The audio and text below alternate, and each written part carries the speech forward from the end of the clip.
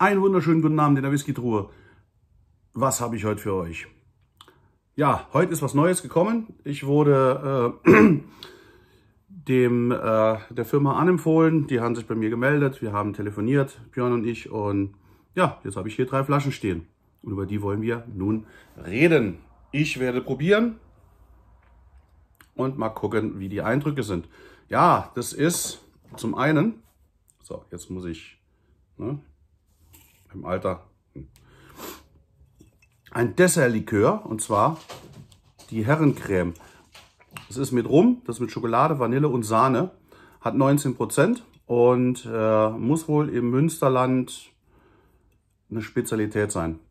Steht für Geselligkeit, für gute Laune und anderer positive Dinge. Und okay, meine Katze ist gerade sehr aktiv. Und was mich hier ein bisschen amüsiert hat, ist so ein kleiner Satz, der hier steht.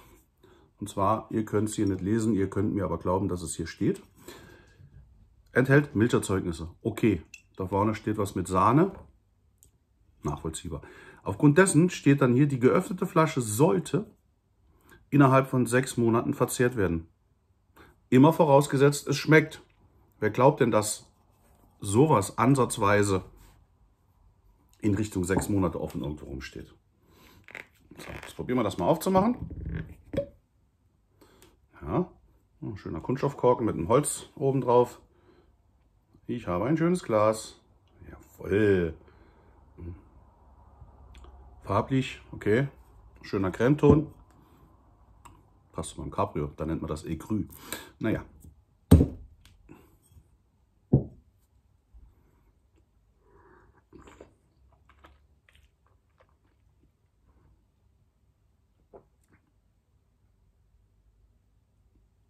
Hm? Oh ja, kennt ihr so diese Rumrosinen? Oh, schön. Das erinnert mich gerade ein bisschen daran. Schokolade, Vanille. Mhm. Sahnige Konsistenz, schön um, im Mund. Angenehm. Bappt nicht. Süffig. Nicht zu süß. Ich habe so ein bisschen Probleme bei manchen Likören, dass sie zu süß sind. So Moonshine und so Dinge, äh, gewisser Hersteller. Äh, das ist definitiv nicht zu süß. Mm. Könnte ich mal auf dem Eis vorstellen. Also ein klein bisschen Schuss Sahne drauf, Rosinchen rein. Wunderbar. Da könnte die Oma oder die Tante sich beim Kaffeekränzchen, glaube ich, ziemlich einen hinter die Binde kippen mit. Oder auch wir. Ja. Oh, très lecker. Oh, très bien. Mm. So, probieren wir mal das nächste. Das ist jetzt etwas, auf was ich mich gefreut habe. Ich wollte es erst als Nummer 3 machen, aber ich mache es als Nummer 2. Und zwar Gebäcklikör Nussecken. Ich bin ein absoluter Nussecken-Fan. Ja, ihr Heimat-Heroes, das ist jetzt eine Herausforderung. Ob er das hingekriegt hat, zumindest steht mal hier drauf, heute wird der beste Tag. Na klar, ich glaube, wenn du so eine Flasche trinkst, halb Liter, 19 Prozent, der Tag kann nur gut werden. Ja, Haselnuss, Aprikose, Schokolade. Hm, okay.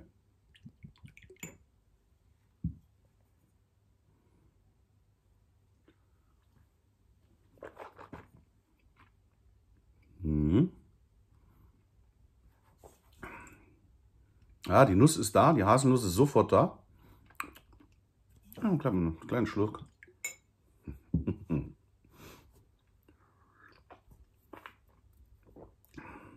Habe es befürchtet. Ich habe es echt befürchtet.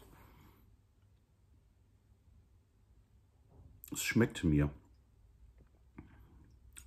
Ja, zuerst ist die Haselnuss und jetzt hier so beim zweiten Schluck kommt so die Aprikose und so schön getragen von der Schokolade.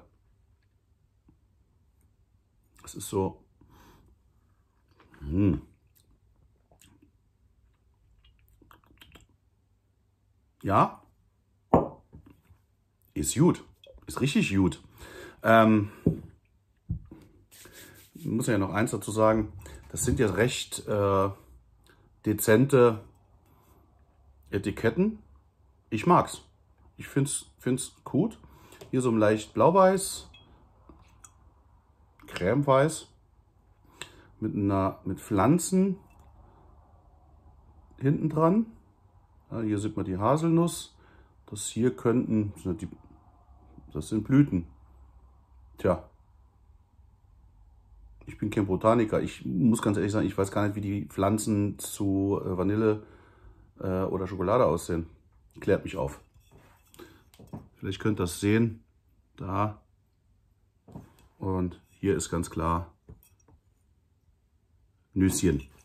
Gut, und jetzt kommen wir zu Nummer 3. Ein für mich ähm, etwas problematisches Getränk. Ähm, Eierlikör.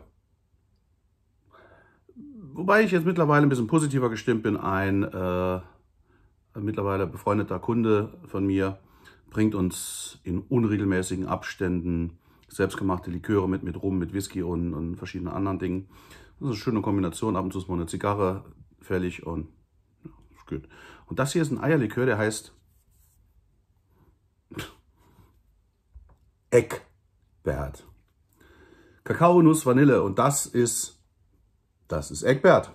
Und Eckbert kommt in einer 500 Milliliter Flasche mit 20 Volumenprozent hin und äh, ist glutenfrei, ist laktosefrei, also auch für die Allergiker.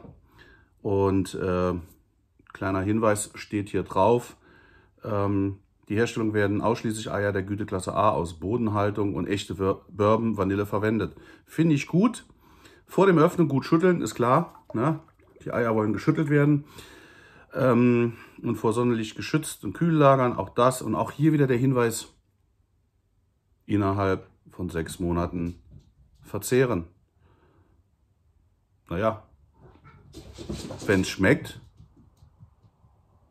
alles gut, Lucy? Lucy. Wow. Lucy hat hier fünf Minuten. Na?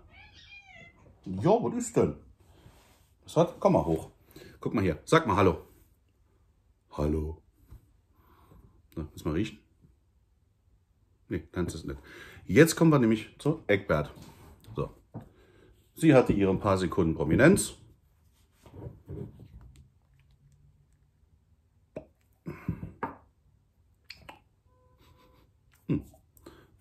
So, ich glaube auch, das wird auch entsprechende Konsistenz haben.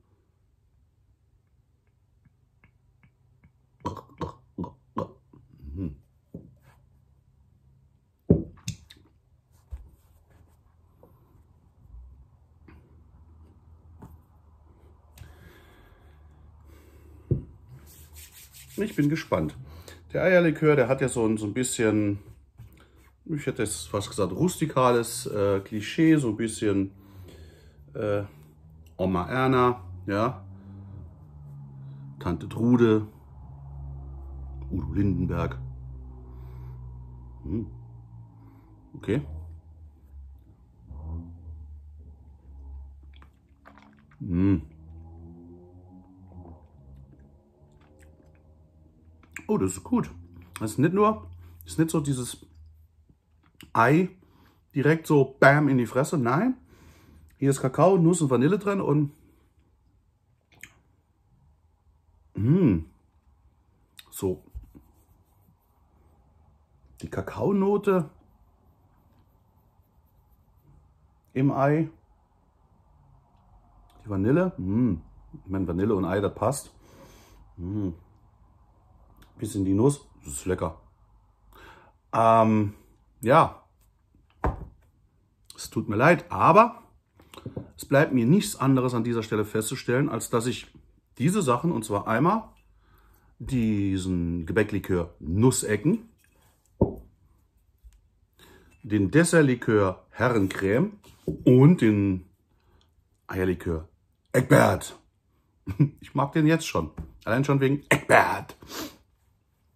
Den muss ich wohl oder übel für euch bestellen, damit er in meinem Laden zeitnah ist. Das heißt, irgendwann nächste Woche werde ich mal ein paar Flaschen da stehen haben. Und die offenen nehme ich mit in den Laden, könnt ihr probieren, ihr kennt das ja. Hm?